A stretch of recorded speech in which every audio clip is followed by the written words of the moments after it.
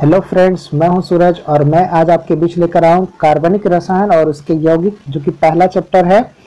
कार्बनिक रसायन विज्ञान की एक प्रमुख शाखा है और इसकी जो दूसरी शाखा रसायन का है, वो है अकार्बनिक रसायन। तो कार्बनिक और अकार्बनिक दो भागों में ये बट जाता है। उसके बाद आपका आता है कि कार्बनिक रसायन जो है वो किस तरह से बना है ये? तो कार्बनिक रसायन का मुख्यतः संबंध जो है वो किससे होता है? कार्बन तथा हाइड्रोजन से होता है।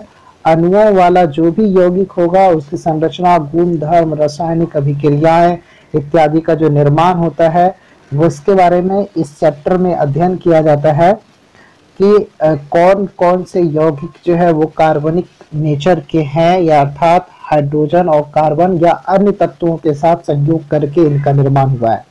इस चैप्टर में विस्तार से ये बताया जाता है कि आखिरकार ये जो कार्बनिक यौगिक हैं, वो कौन से होंगे, इसके क्या प्रकार होंगे, उसके बारे में पूरा का पूरा डिटेल्स होता है।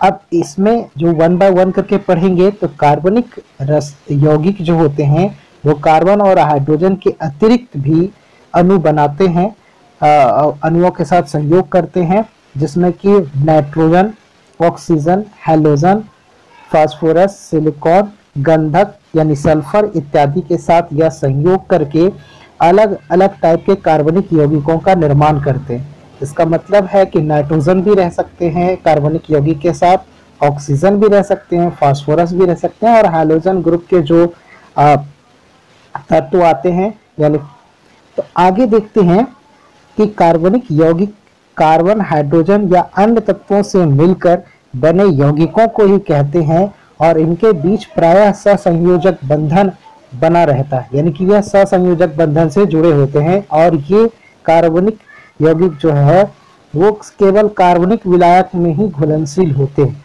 मतलब ये कार्बनिक विलायक जो होंगे, कार्बन के जो विलायक होंगे, उसी में यह घुलनशील होंगे।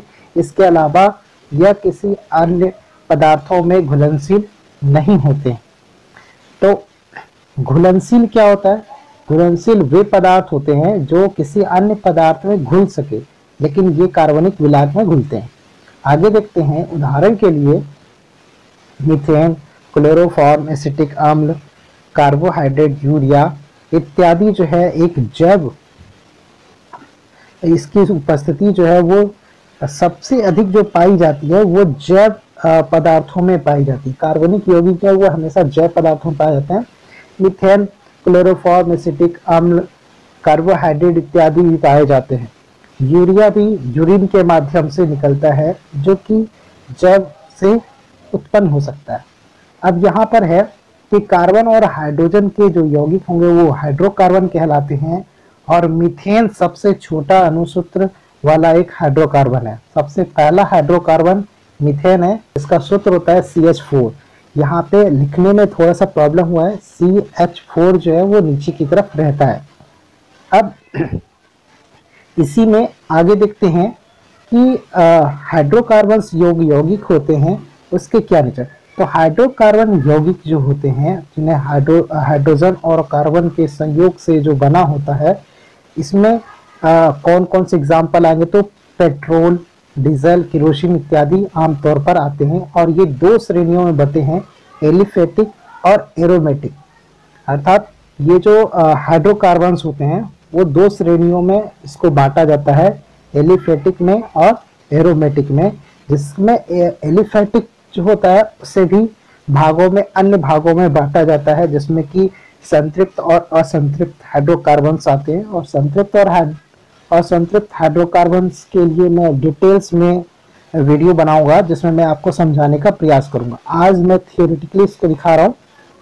आगे है कि ये जो हाइड्रोकार्बन जो एलिफेटिक हाइड्रोकार्बन होते हैं, ये खुली श्रृंखला में होते हैं। यानी खुली श्रृंखला, यानी ओपन चेन होता है इसमें, और इसमें किसी भी प्रकार का गंध नहीं होता। इसके जो यौगिक होते हैं, उसमें किसी भी प्रकार का गंध नहीं होता। है और ये प्राय दो भाग में बटे जाते हैं। संतृप्त हाइड्रोकार्बन जिसे एल्केन कहते हैं, और पैराफिन भी कहा जाता है। दूसरा आता है असंतृप्त हाइड्रोकार्बन इसे असंतृप्त दो भागों में बांटा गया। किसी भाई? एलिफेटिक को दो भागों में बांटा जाता है। वो है आपका एल्केन और दूसरा आता है आपका, जैसे कि आप कह सकते हैं संतृप्त हाइड्रोकार्बन एल्केन और दूसरा आता है आपका असंतृप्त हाइड्रोकार्बन। असंतृप्त हाइड्रोकार्बन पुनः दो भागों में बढ़ता है। असंतृप्त हाइड्रोकार्बन जो होते हैं वो दो भागों में बढ़ते हैं, एल्किन्स और एल्काइंस में।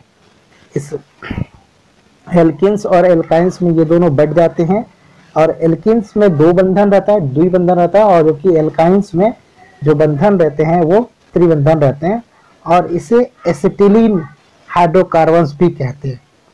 इसे क्या कहते हैं? त्रिबंधन वाले को एसिटिलीन कहते हैं और वाले हाइड्रोकार्बन धन्यवाद इस वीडियो में अंत तक बने रहने के लिए, तब तक के लिए जय हिंद, जय भारत।